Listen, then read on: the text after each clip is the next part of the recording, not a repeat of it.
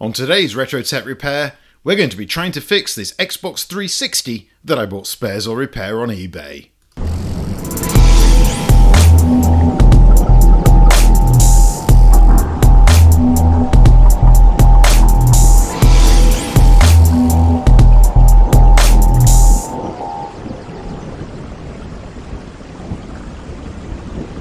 Hello, and welcome to Retro Tech Repair.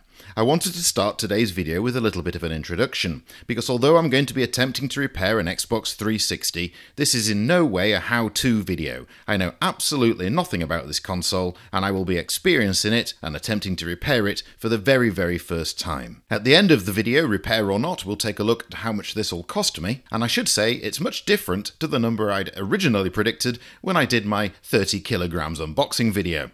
I also wanted to give a massive shout out to one of my favourite YouTubers, my mate Vince. Without Vince, I wouldn't be here, and without Vince, a lot of you wouldn't be here either, and I really appreciate the support he's given to me and the channel. Anyway, let's get on with our repair. I hope you enjoy the video. Now, I'm not familiar with Xbox at all. I was a PlayStation person. I know nothing about these consoles. And what I didn't realise was it needs a special power supply, and quite a chunky thing it is too. That power supply I had to buy on eBay because it wasn't included in the job lot. I also got a cable for the video, although actually that's not such a big deal because I realise now there is a HDMI output. What I didn't realise though is that there are USB outputs on the front. So because of that, I bought a wireless controller as well. Now that wireless controller I don't think is the right thing to do because in actual fact the USB would probably be an easier thing to set up and diagnose and I probably have to pair this and I don't know whether that's going to work. I also bought a game because I have no games for the Xbox 360 so I bought Halo from eBay too. So I'm already quite a lot of money into this but it's not about the money. So let's see what happens now when I power this on. Error 74. So we need to try and fix that. From what I've read online, it's often associated with the chips on the main printed circuit assembly coming loose because they overheated. So I don't know how easy that's going to be, whether I can reflow those somehow, or whether it's a different problem. But we are going to have to tear into this to find out. Uh, yeah, don't really know where to start, to be honest, but well, that's not a bad start, is it? I got that part off. And I must apologise for the background noise. Obviously, we've got one of our uh, clips missing over the memory card slot there, which uh, isn't great, but never mind. I apologise for the background noise. It's really windy outside at the moment, and I am sitting quite close to the front door because uh, I'm in the hallway of my apartment. Looks like there maybe was a security seal there at some point in the past, so clearly this has been opened before, which again, I don't think is a particularly good sign. I'm thinking we might need to get these end pieces off next maybe. And it looks like those are kind of held on through here. So I'm guessing you push something in through here to get these off. We'll see what I've got.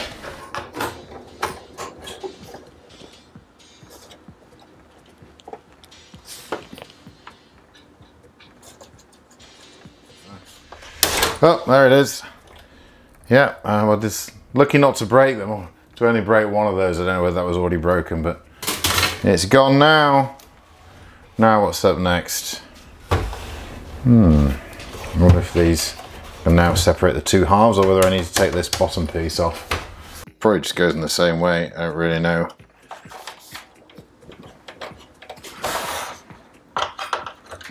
Aha! Oh, I to get that first time. There we are. It's a plastic. Seems to be a plastic tab. If you get in the right place, you, you're home and dry. I just got lucky twice there.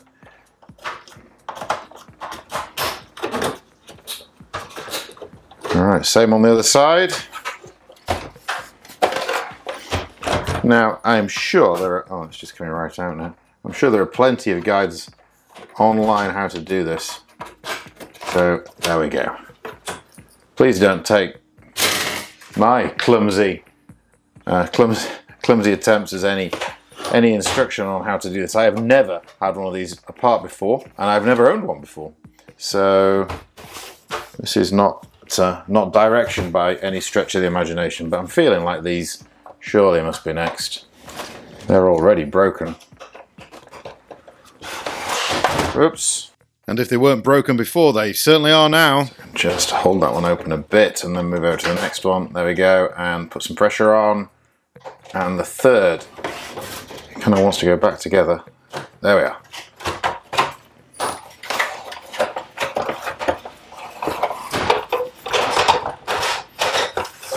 So I know that this is probably painful to watch and that if you know anything about Xbox 360 repairs, it's probably worse still.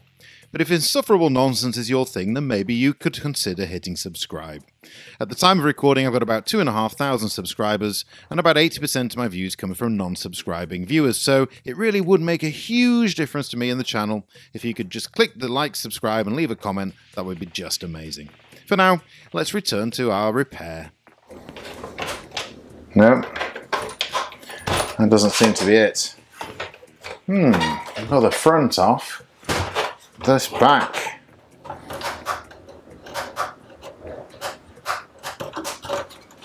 Huh, so frustrating. So let's try a uh, custom tool in here. Well, it's not custom to the Xbox, but it's, you know, for the purposes of doing this kind of thing. No, is that it? Yes. Yes, yes. So it's like there's a tab there. It's like there are two tabs at this end that you kind of push in. And you need to push on, presumably, this top surface here. So it's one, two, three, four, five, six, seven. Anyway, we're in. Now we have the top enclosure to deal with. Boy.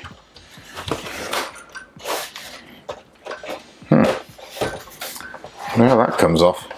It looks like the eject button just kind of comes off, or eject mechanism. There we go. What if this is screwed to the metal case? Huh?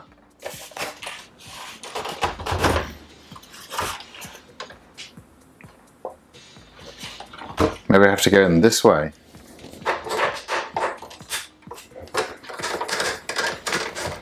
So there are six of those, if I got them all. I'm assuming I, I, got lucky with the longer ones there. Can I can I get into the top? No. Mm, maybe.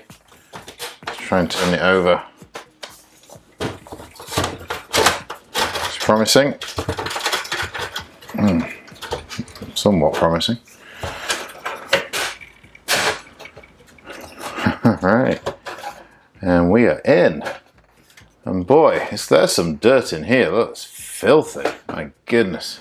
And I guess I have more work to do to get to this motherboard. And what I'm trying to do is I'm trying to get all this out of the way so that I can um, apply some heat to the motherboard, see if I can resolder.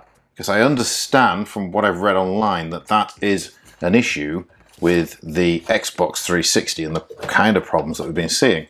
All right, well, looks like this now lists out fairly easily. That's nice. Okay. There we go. Of course, we don't know this is good because we haven't got as far as using it, but fortunately, unlike the other Xbox, they are available. Okay. Well, I couldn't tell you how I got that off, but I did. I wonder if I just tried kind of pushing down on some of these, whether I might get rid of that error. It's kind of worth a try. And uh, no, I didn't. All right, so it appears my camera wasn't running, but basically I just took the four screws out of each of the heat sinks here, and the heat sinks just fell out underneath. So these four screws were each holding each of the heat sinks in. But what I have now is there were washers underneath, so those washers are now loose under our printed circuit assembly within the Xbox. So I need to get those out. Like maybe it's plugged in here, so maybe this needs to come off first. I'm assuming it's plugged in. Looks like maybe there might be a screw under there. There we are. All right, good. Uh, that looks like a Torx drive also, so let's get that. And then hopefully this will then come out. Yeah. And it's been a while since I voiced over anything, so here's a bit of chitty chatty to keep us going while I fast forward through me removing the printed circuit assembly. And there we have it. Here is our Xbox printed circuit assembly. So I don't know if you can see these marks on the board, but there's kind of marks that, well, they look like they've been left by something, but I don't know what that something would be. Uh, if you can catch that in the light, it's definitely some some kind of mark there. It's not dust, it's, it's more than dust. It seems to be following a pattern like something has puddled in there or something like that. So we are just going to give this a good clean down with some IPA. There's some more residue there as well.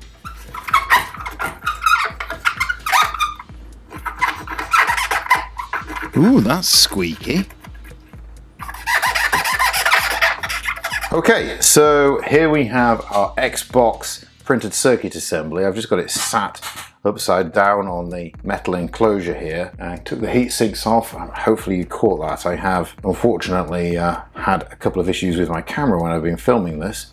Uh, I cleaned the bottom off with IPA and now we are going to just apply a little bit of heat to here to see if we can maybe reflow any joints that might have come a little bit loose. What we don't want to do though is disturb any of the components on the underside of the board because I don't want those falling off.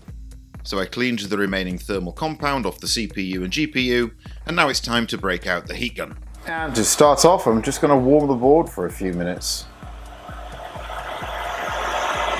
And then having heated the general area, and apply a little bit more intense heat to these two processors, be this microprocessor or graphics processor.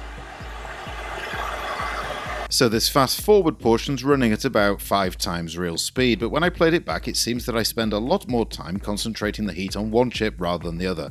I don't think that's actually the case, I think it's just the way that I recorded it and there's probably some footage I didn't record of me heating the other chip too. And now we're going to let it cool and we'll look at it again tomorrow. Okay, so a couple of days have actually passed and the weather at the moment is terrible. It's blowing a gale off the North Sea right outside my front door here, so I apologise if there's any background noise on the video. But what I need to do now is I need to get this printed circuit assembly from our Xbox 360 mounted back in the metal enclosure. And what I'm going to do first is I'm going to position the screws in and I'm going to tape them in place. So I'm just going to hold each one individually in place with a little bit of tape. And I'm going to try not to overlap that because as I undo one, if I use one long piece of tape across, as I tighten up one, then I'm going to bring the other piece of tape with it. I don't want to do that. Okay, very good. So those hopefully now won't fall out. Now, there are an awful lot of washers in here, but I think, and I've come up with this myself just by measuring. I think we need three metal washers and one nylon washer on each screw. So that's what I'm going to do right now. Okay, now I've got those in place, I'm going to go ahead and put the printed circuit assembly back in. What I really want to do is come down straight on those screws if I can, because I don't want to push them out of, out of place. So I think that's all of them in. I'm just going to go around the other side now and check my tape and then I'm going to check the alignment of all the sockets around the board, make sure I've got everything in about the right place and I've got the right number of washers on there. Again, I don't know the correct number of washers, that's just the number that I think is appropriate because obviously when I took everything to pieces they all kind of slid out. And it looks to me like all the LEDs, sockets and everything else are in the right place now. The HDMI is very central to that HDMI hole and so on. So I'm thinking I've got those in the right place, got the right number of washers on there. So I'm going to go ahead and reassemble this. Now, before I do that, I need to put a little bit of thermal paste, thermal compound on these processors to make sure that they are correctly um, thermally coupled, I think is the word, with the heatsink and I have no real experience in this. I have some thermal paste. It's not that I particularly recommend this, it's just you got quite a lot for the money. And I think I'm just going to put just tiny little blob in the middle of each one and hope that that's enough. I'm sure that's plenty. And we're going to apply the heatsink in the orientation so that the fan blows across the fins rather than blowing into the side of the fins. And now I'm just gently going to hold that in place while I try and do the screws up on the rear of the unit. I'm just going to gently tighten these up. And I'm only going to do them just a couple of turns at a time or even less than that. Just a little bit at a time. I don't know how tight these should be, but I don't want to flex the printed circuit assembly. They're certainly not tight, they're just kind of snug. And whether that's right or not, again, I don't know. It's just what I have chosen to do. So that now seems to be in place. We're going to repeat the process on the other heatsink.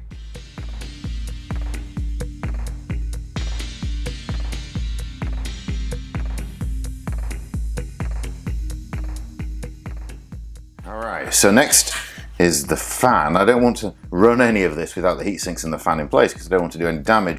I did clean off the fan, just make sure there wasn't too much dust in there. Just gave it a quick wipe over. There we go and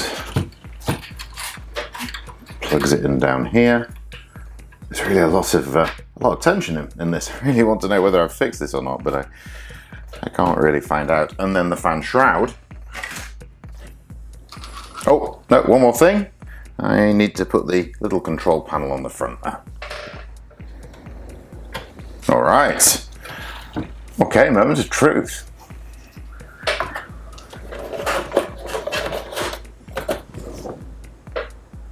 Okay, so we've got it all hooked up to the TV. Let's power it on.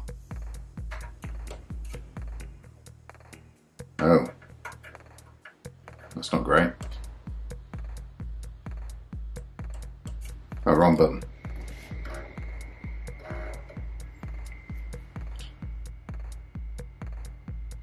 Yes! Look at that! hey, fantastic! Oh, that's brilliant! Oh, I'm so happy about that. Let's see if we can play a game. Ah. Yeah, it doesn't seem to want to open the disk drive. Let me show you that. If I press the eject button now, it says opening on the screen, but the, the disk tray doesn't come out. And then it says reading, but there's no disk in there to read. Okay, so I guess we need to take a look at this disk drive next.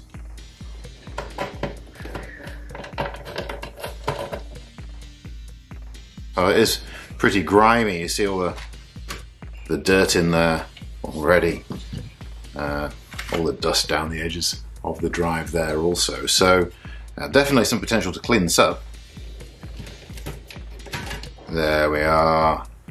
All right like there's a wheel here with a belt on it. I wonder if that belt may have perished or whether if I move it I can kind of slide the drive out. Oh, oh, there we go. There, look, look at that. All right. There's no evidence of any grease on there. It's certainly a lot of dirt in there. Which we're going to get out in a minute. Oh, look at that. There we go. You see that? It's absolutely filthy in there. Let me get a cotton bud. It's just one wipe across, all from one wipe of of the mechanism here. So we'll go in here, we'll get this cleaned up as best we can, and uh, you can see the dirt in there. And then once we've got that cleaned up, we'll we'll try again. Just need to be careful I don't damage that laser during that process.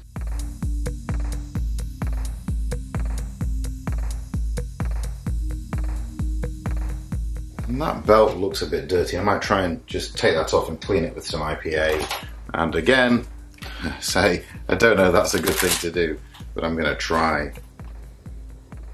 I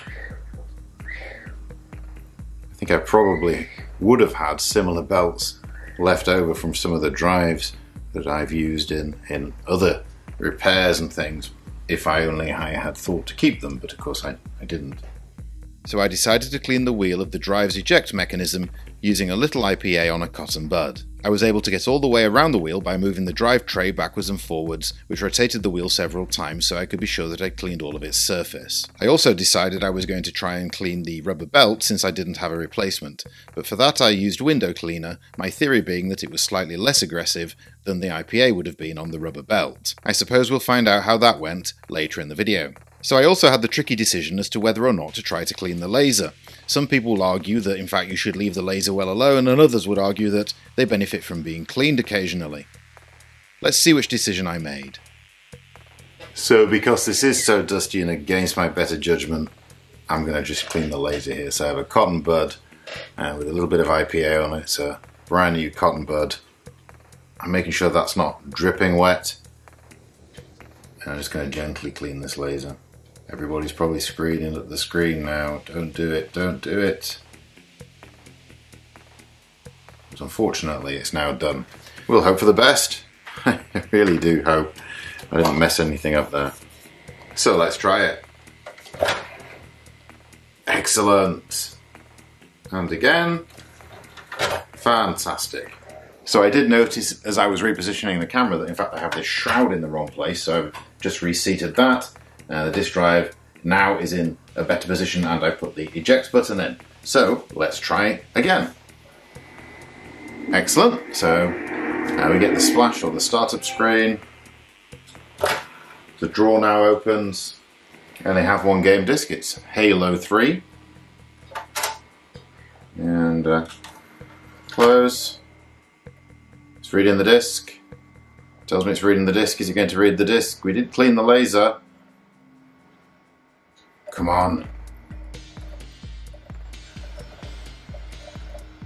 Yes! Play game, and it shows us Halo 3. Fantastic. Here's our wireless controller. I need to pair that, I think, and I think that's this button. And here on the controller, power it on, and then pairing. Okay, well, let's stop flashing. Okay, good. And that's it. Awesome. So I think this is going to work. Okay, so our Xbox 360's been running for a couple of hours now and seems to be pretty stable, so we're going to call that a success. As I say, I did have to move this shroud. I got it in the wrong place the first time around. I'm sure people were screaming at the screen as I was doing that. But uh, it's in place. The heat sinks. You know, this one's warm. This one's pretty hot. Uh, but it is all working as it should be. So we're going to go ahead and reassemble this and get it all cleaned up. First squad, you're my scouts. Move out, quiet as you can. So in just a moment we'll take a look at how much this all cost me and what I eventually sold the console for on eBay. Okay, it needs a hard drive so you can save game progress, I get that.